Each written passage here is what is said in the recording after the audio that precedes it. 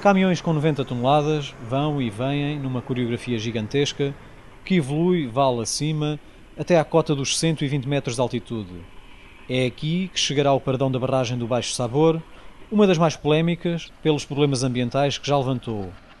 Representa um investimento de 491 milhões de euros e na sua construção trabalham já 650 pessoas.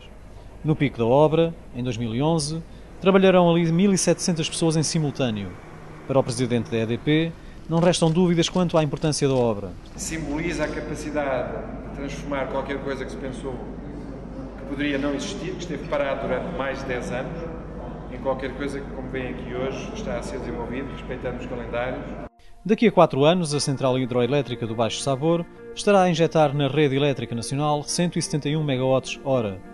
Mas se a esta juntarmos mais oito novas barragens que vão ser construídas, e ainda os reforços de potência que a EDP está a fazer noutras seis já existentes, a partir de 2015, Portugal ficará não apenas autónomo em termos de produção de energia elétrica, a partir de fontes renováveis, como ainda poderá passar a poder exportar alguma da sua produção.